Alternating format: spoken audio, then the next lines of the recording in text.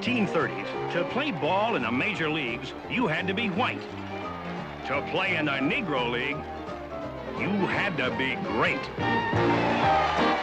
Ladies and gentlemen, meet Bingo Long and the greatest congregation of athletic talent ever assembled in one place at one time for one purpose.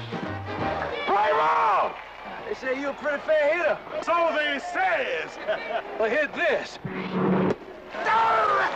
Billy Dee Williams is Bingo Long.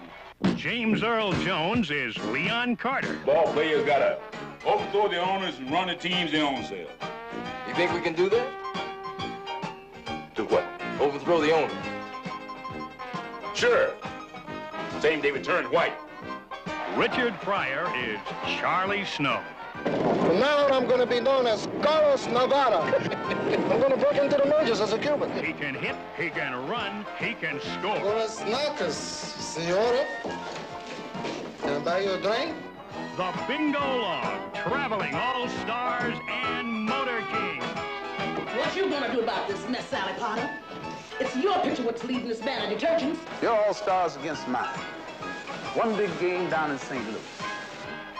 Barnstorming in the 1930s. It was daring. Just drop me off at the baseball park. It was demoralizing. Come on, this wonderful lady.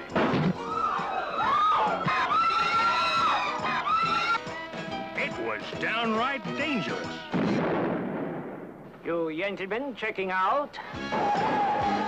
Who would have thought it could be so much fun?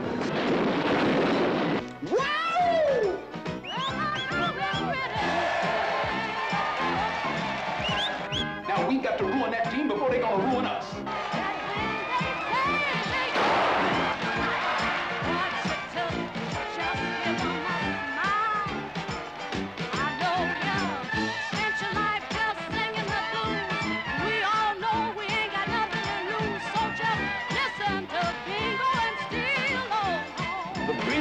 The Traveling All Stars and.